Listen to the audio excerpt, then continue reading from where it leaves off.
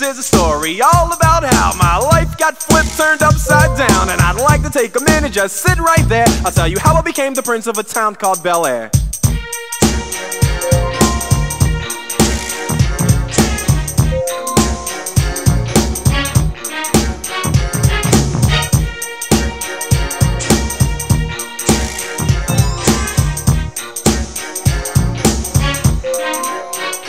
In West Philadelphia, born and raised on the playground is where I spend most of my days.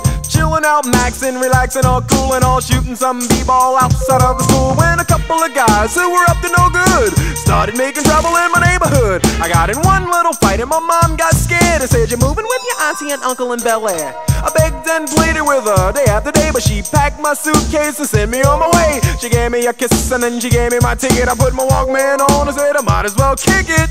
First class, yo, this is bad. Drinking orange juice out of a champagne glass. Is this what the people of Bel Air living like? Hmm, this might be alright. But wait, I hear the prissy, bourgeois, and all that. Is this the type of place that they just send this cool cat? I don't think so. I see when I get there. I hope they're prepared for the Prince of Bel Air.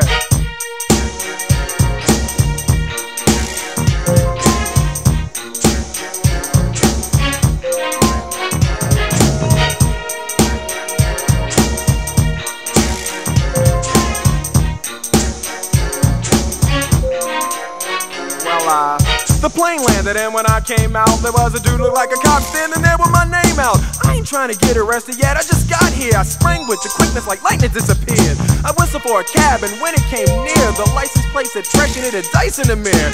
If anything, I could say that this cab was rare, but I thought, man, forget it. Yo, home's the Bel Air.